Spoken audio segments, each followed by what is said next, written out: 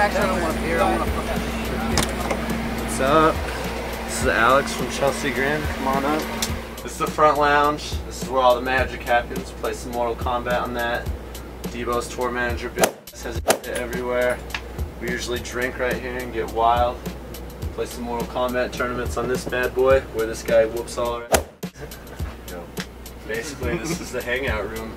I'll take you back to the back lounge and stuff. Is the bathroom. It's really gross and smells like. This is where we all sleep. This is where absolutely no magic happens. This is my bunk. This is usually just the quiet area. We just no one really chills this area unless we're sleeping. Coming back here. This is the official green room of the tour. We have our drummer Andrew chilling. As you can see, this is where some partying happens. Metal. Jason. This is usually just where we hang out when we're bored, just whatever.